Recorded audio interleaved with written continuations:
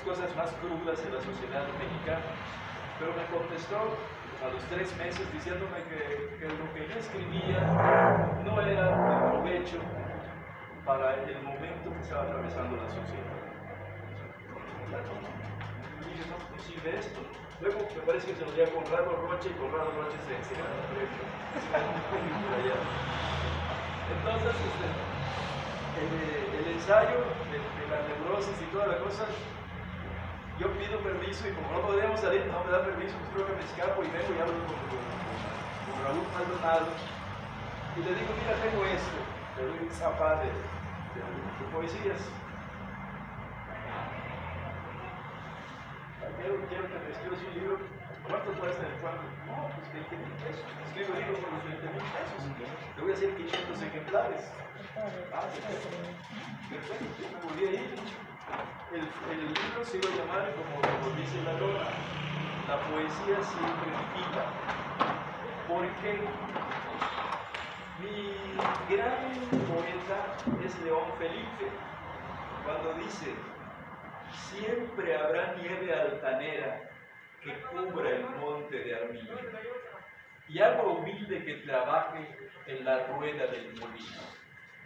Y siempre habrá un sol también, un sol verdugo y amigo que truene y llanto la nieve y nube el agua del río.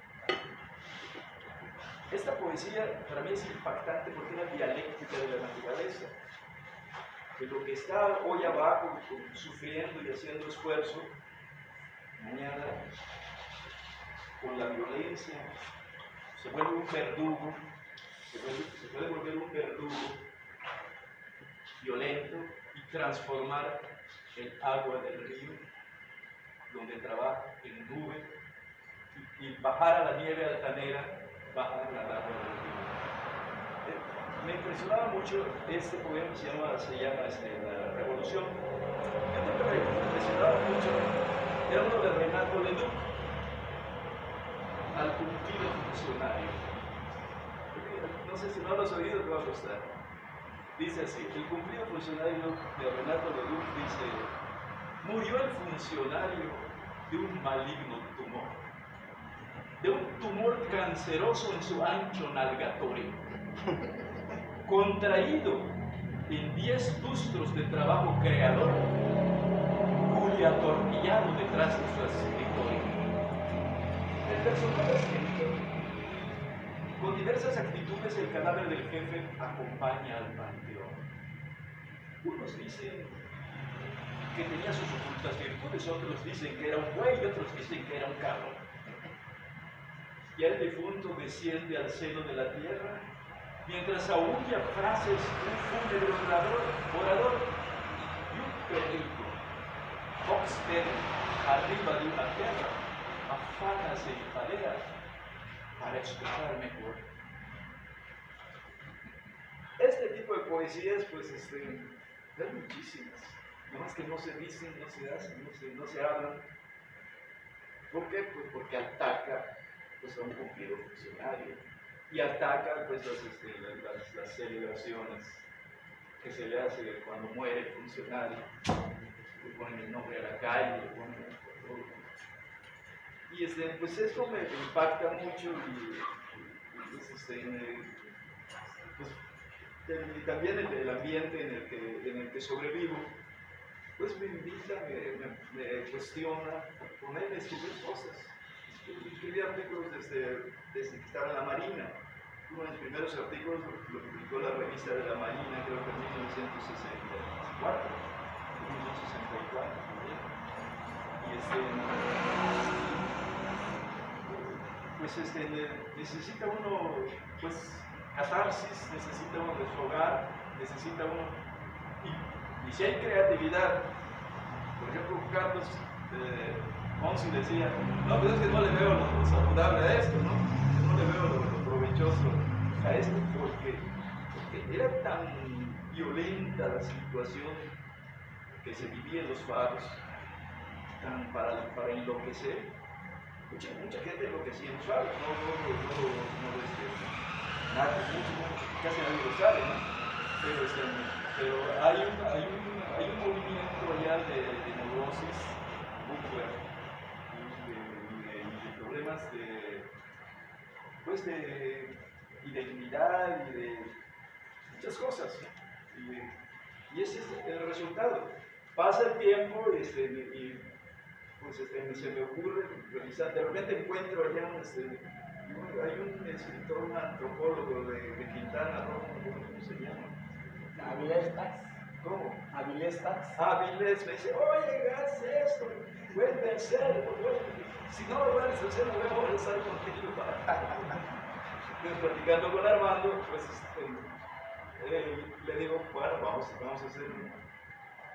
Y la, la idea este, de que en cada pueblo surja la artesanía de la, de la encuadernación, de, la creación.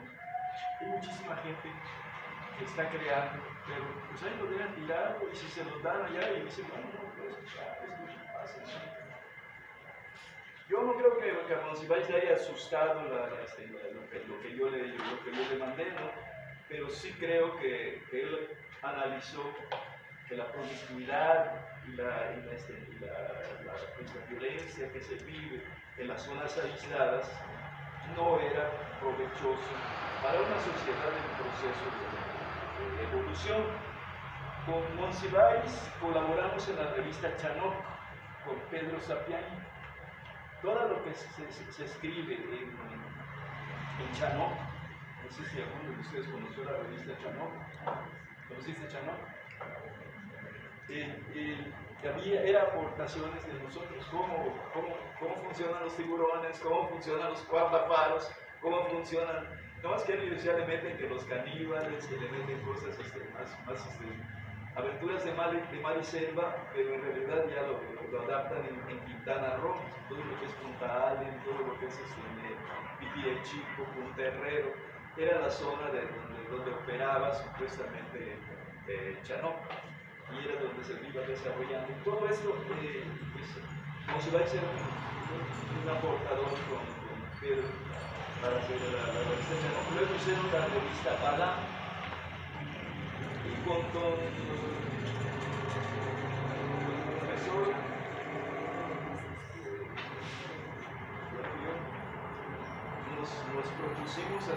uno en Celestún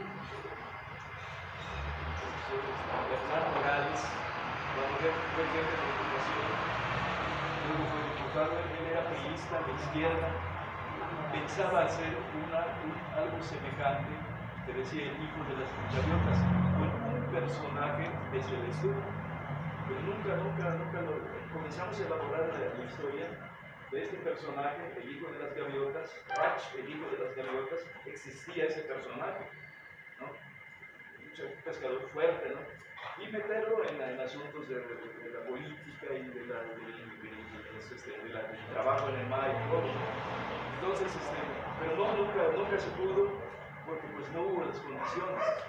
Pero la idea de, llevar a, la idea de, que el pueblo asuma esta posibilidad de que su, creación, que su creación sea pues divulgada por, por, sí mismo, encuadernada por sí mismo, pues evitaría todas esas cosas de control, todas esas filtraciones y todo eso, todo ese sometimiento. Yo no dudo de que, de que los, los, grandes como, como Armando Manzanero tengan cosas mejores que no les permitaron.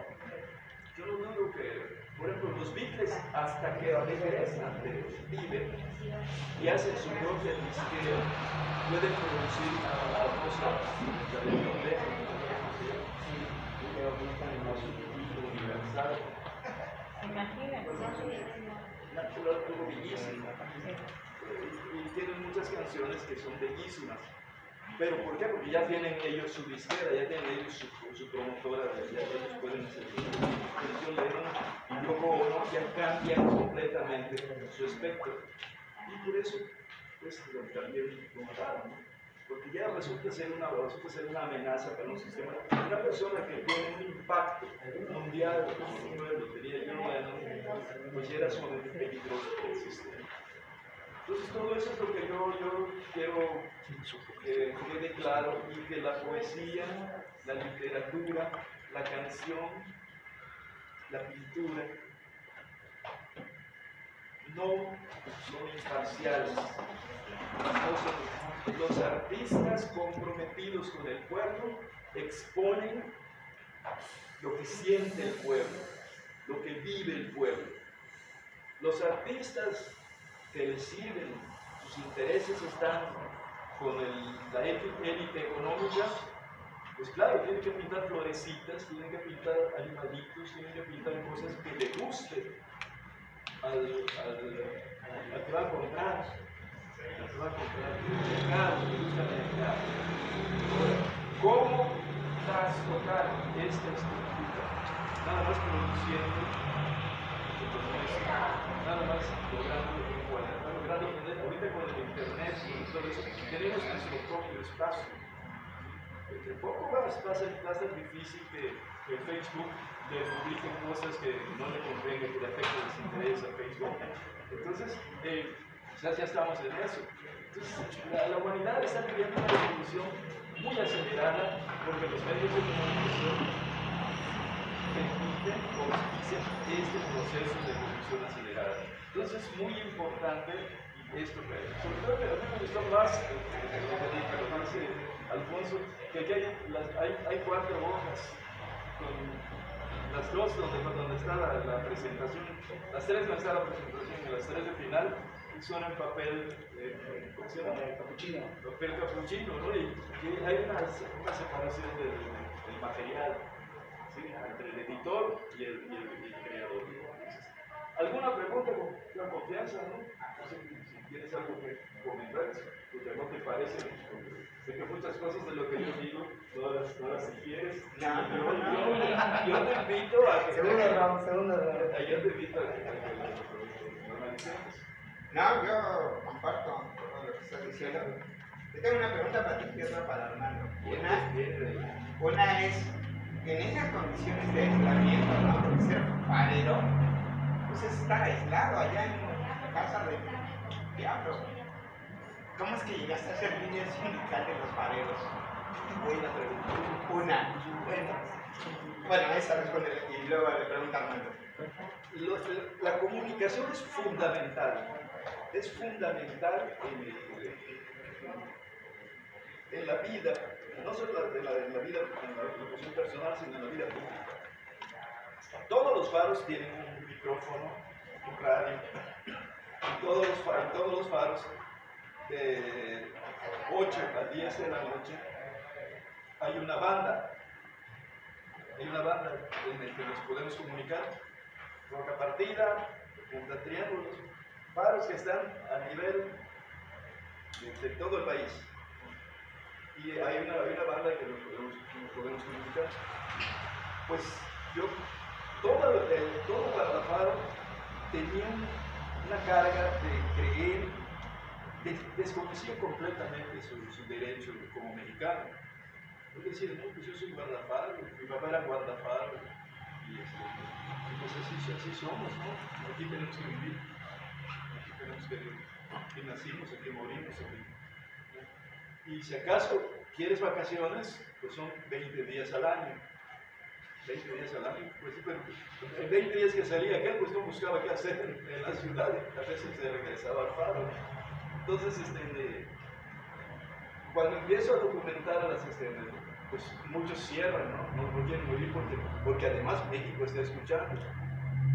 México está pendiente de todo lo, lo- este, que se está hablando. Entonces yo en uno de mis, de mis 20 días me voy a México y voy a visitar al que controla en México la banda de los, de. Le llevo un regalo, yo no creo que le llevo a comprar dice caro, Oye, sí, no, pero es que conmigo, me caes bien y toda la cosa. Pero mira, se trata de eso.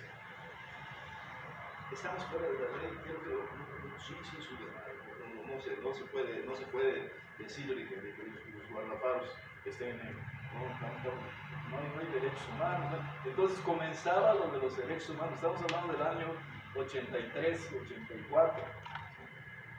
Yo ya había chupado en Isla Triángulos del 73 al 76 en, eh, en el codo de la península de, de Baja California, allí nomás recóndito que se llama Punta Breogos, había chupado desde el 76 hasta el 79, hasta, hasta, el 80, hasta el 79, pero 80. En el 80 entonces me pasaron a Mulegé por una entrevista que le hice a López Portillo. López Portillo llega ahí a la zona, porque es zona bulonera y zona de, de, de la costera y toda la cosa, y llega en campaña. Y el primer, creo que el primer libro que dices que se llama un Guardafaro, me lo editó la editorial Guaycura, un señor que se llamaba Felipe Ojeda. Y me habla Felipe Ojeda, me manda un recado diciéndome, entrevista a López Portillo, no sé si aún me, me, me, la entrevista, va a ir a Punta. No, yo no sí, entrevista, entrevista, dile, hay unas preguntas sobre la cooperativa, sobre la riqueza de, de, la, zona, de la zona de Baja California. Bueno, yo contarle que... Y también, por esa entrevista, me imprime el, el libro de apuntes de un guardafaro. Entonces, este, de, de, esa manera, eh, paso yo a Mulegé. Mulegé es un puerto donde se hizo la primera defensa histórica del país. El capitán Manuel Pineda derrota a la escuadra norteamericana de la Armada de, de, de Estados Unidos. Entonces yo investigo eso y lo publico.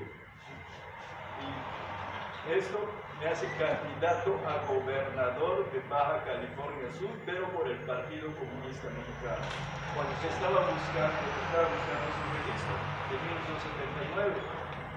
En 1979 soy el candidato, Juan de la Cabada fue, este, fue candidato de, de Campeche. Este, los Guerrero fue este, Otón Salazar. ¿Qué, qué, qué, personalidades? Otón Salazar, yo hace mucho tiempo, ¿no? Y, este, y este, Juan de la Cabada era el candidato a gobernador por, por Campeche. Entonces, pues, no, el Partido Comunista te viene a buscar, ¿no? Ahora, yo quisiera que Morena me venga a buscar. Para regidor, además, nada más. No, no, ni para regidor, no te van a dar algo. ni para, portero. Entonces, no vienen a buscar y, oye, es que tú tienes este esto, tienes, tienes esos antecedentes y te, respetan. Hasta el gobernador te respeta. Sí, no quiero que y entonces soy el candidato a gobernador de Baja California en 1979. Se gana el registro del Partido Comunista con 760 mil votos en todo el país con la reforma de Reyes Herodes.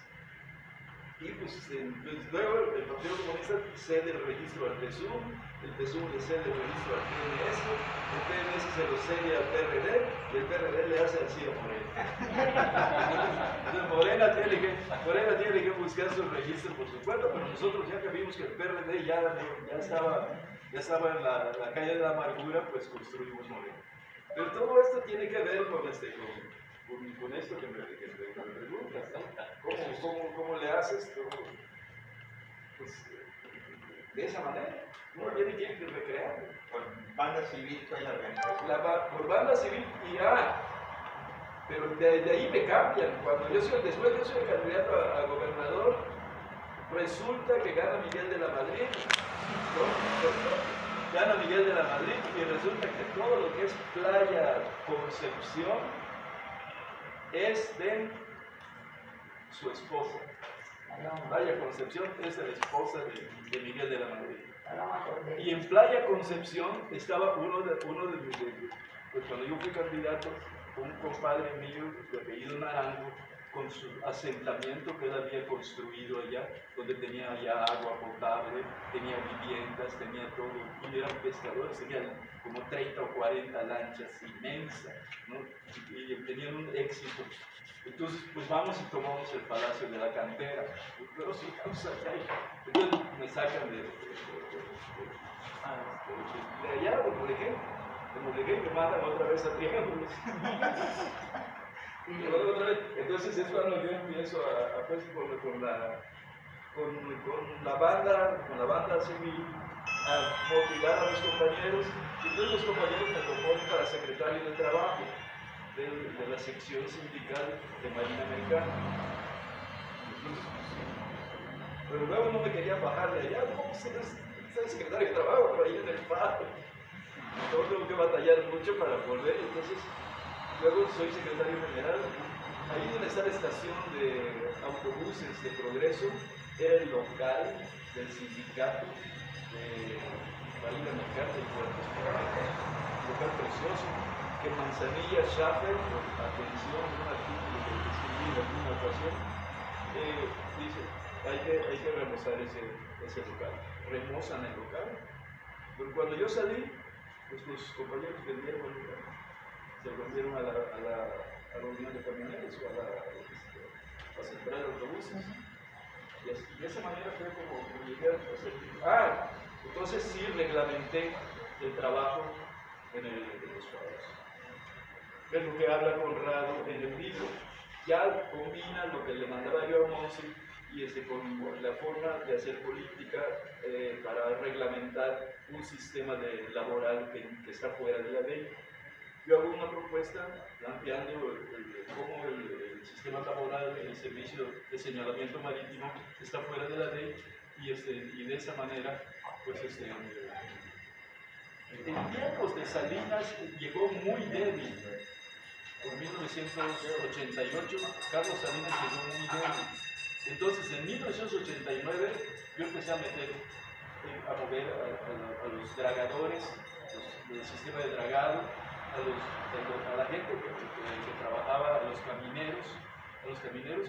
Y entonces sí se resuelve, sí se resuelve, porque, porque en realidad los guardapalos pues no podían moverse porque estaban allá, estaban hasta allá, ¿no? Pero los, los, los, los de dragado y los camineros fueron los que se movieron y sí este, se resolvió una, una, nueva regla de operación para, para para los contratados, laboral y también para los camineros. Sí, este, sí, de, de esa manera sí se puede, pero tienes que buscar una coyuntura. Yo veo que ahorita, pa- papá, es paradójico. Que en tiempos de Salinas había más apertura para la clase trabajadora, para la sociedad civil, que en este momento que estamos con un, gobierno pues, de tipo de izquierda, ¿no? En este momento está muy, a la defensiva el gobierno. Salinas es, abría, ¿no? Y yo recuerdo lo mismo que me, me dijo el, el secretario general, quieres esto, te tienes que quedar y que vas a, tener una reunión con el de Hacienda, con el secretario de Hacienda, porque eso se tiene que resolver en Hacienda, eso no podemos resolver nosotros a nivel laboral. Hacienda el presupuesto, la Secretaría de Presupuestos son los que son los que lo con la Secretaría del Trabajo de allá, pues también asistimos y había más apertura. Pero ahorita eh, me parece que no tienen, no tienen fuerza, no tienen, el gobierno no tiene fuerza para, para decidir. Y en este tiempo se decidió así este, las condiciones generales de trabajo en los faros, el dragado y los camineros.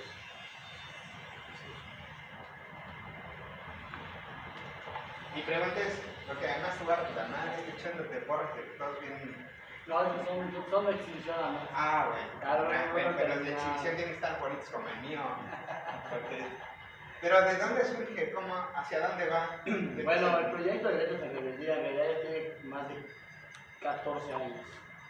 Empezamos una revista electrónica en una, una, una red española que era gallo.com y todo fue digital obviamente, ¿no? Este, yo trabajaba en aquel entonces en Quintana Roo. Este, después vine para acá y ya empecé a trabajar en el sector editorial. Y pues, pues ahí aprendí lo que es el manejo de los programas de Insight, Corel Draw y demás, gracias al, al licenciado Gaspar en Chacón. Ah, trabajaba. Eh, eh, la cuestión de, de hacer los libros surge cuando pues veo que todos mis compañeros escritores pues que van a llorar a los funcionarios, a pedirles rosca, a que los manden a tal lugar y cuenten escritores, pues está bien tengan las ganas de pedir y se los dan pues adelante. Pero yo siempre he pensado que el que publica en, la- en el, en el estado, pues siempre va a estar allá. nunca va a poder sacar adelante un proyecto.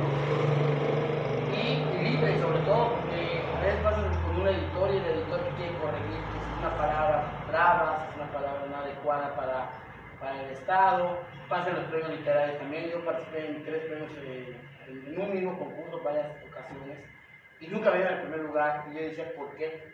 Ah, porque mi texto habla en contra de ciertas cuestiones morales o contra o, o critica cierta postura religiosa. Y los demás no, los demás se dedican a hablar del jaguar, se dedican a hablar de cosas bien escritas, pero siempre el mismo tema, ¿no? El jaguar, la familia, la muerte de mi abuelo, la muerte de mi padre, o sea, y el erotismo queda aislado, la protesta social queda aislada, eh, el pensamiento crítico queda aislado. Entonces dije, si voy a pasar trabajo con un premio literario, que además no es el gran premio literario, voy a tener que estar yendo a pedir apoyos al gobierno y siempre te va a decir no hay dinero, o si hay dinero pero tienes que apoyarme a mí, o si hay dinero pero yo soy el director y tienes que acostumbrarte al mecanismo de la institución, pues entonces cuando veo que yo que hay que hacer algo, ¿no?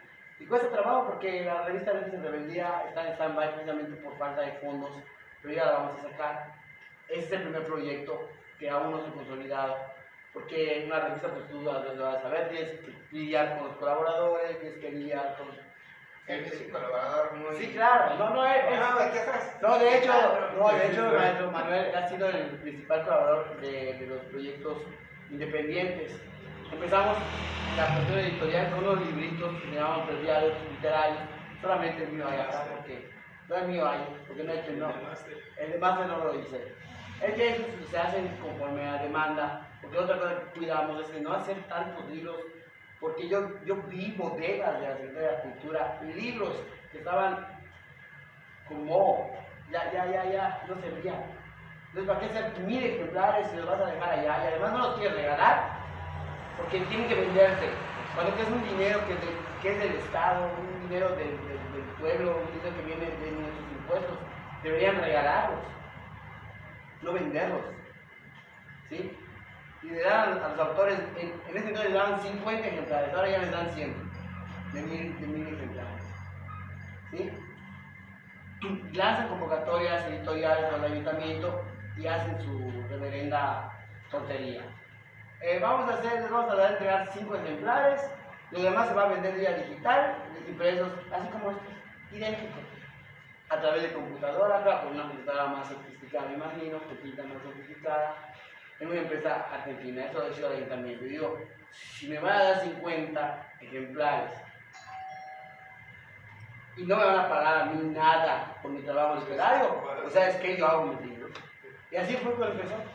Y empecé a hacer los libritos eh, donde han colaborado compañeros Miguel Alfaro, este, Jorge Lara Rivera, este, eh, ¿qué más? Este, Saulo Rodríguez, Forever, en, mis proyectos.